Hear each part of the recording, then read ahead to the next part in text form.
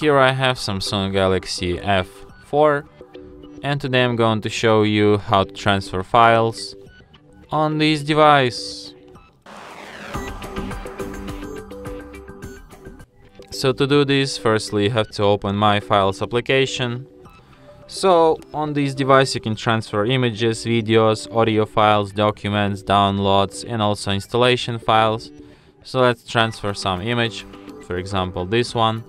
So you hold your finger on it, it got selected, and then you select if you want to move it or if you want to copy that. So let's copy it, then you go to folder where you want to copy this image, for example to SD card, to the folder pictures, and tap copy here. And now you will have this image on your SD card and also on your internal storage. And that's it. Thanks for watching. If you find this tutorial useful, don't forget to hit that like button and subscribe to our channel.